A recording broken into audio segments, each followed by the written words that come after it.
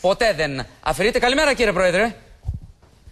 Καλημέρα. Δημοσιογράφος, ε, εάν ξεκινήσεις, δεν σταματάς ποτέ να είσαι, ε, ανεξάρτητα των διαμέσων σταθμών της ε, καριέρας, όπως η πολιτική. Κύριε Πρόεδρε, αυτό κα, κατάργηση στρατού ζητάει η Τρόικα, το έχετε πει εδώ και δύο χρόνια.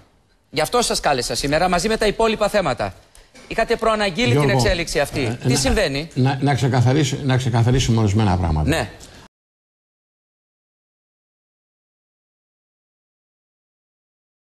Θα έρθει ο Γιωργάκης και θα πει άποψή μου.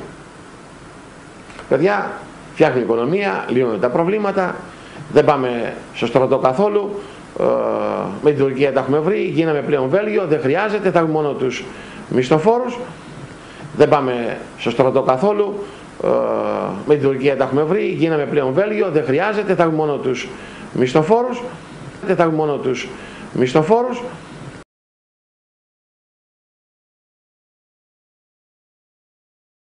οδηγούμενοι και φερόμενοι βεβαίως κάτω από το καθεστώς της παγκοσμιοποίησης.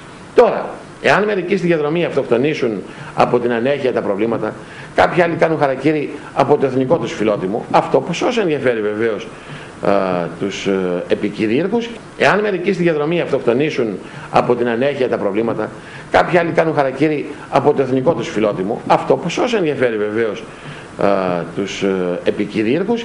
Εάν μερικοί στη διαδρομή αυτοκτονήσουν από την ανέχεια τα προβλήματα, εάν μερικοί στη διαδρομή αυτοκτονήσουν από την ανέχεια τα προβλήματα, εάν μερικοί στη διαδρομή αυτοκτονήσουν από την ανέχεια τα προβλήματα, εάν μερικοί στη διαδρομή αυτοκτονήσουν από την ανέχεια τα προβλήματα,